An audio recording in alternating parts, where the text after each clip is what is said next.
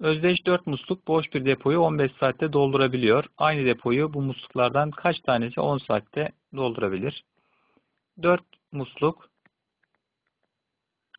depoyu 15 saatte doldurabiliyorsa x tane musluk depoyu 10 saatte doldurabilir şeklinde bir orantı kurabiliriz.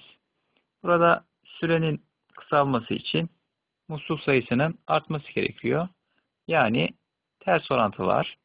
Ters orantıda sorunun çözümünü bulabilmek için sayıları karşılıklı çarpmamız gerekir.